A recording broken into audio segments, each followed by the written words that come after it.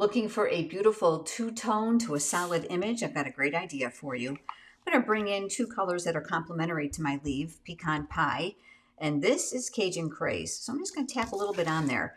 This in itself would be kind of harsh because of the definition of the two colors. So I'm going to mist on a little bit of water with my spritzer.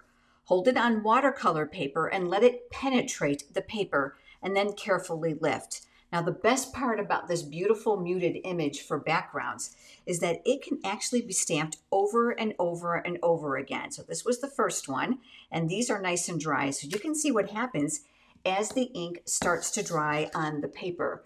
Really, really pretty and a great way to get realistic looking images.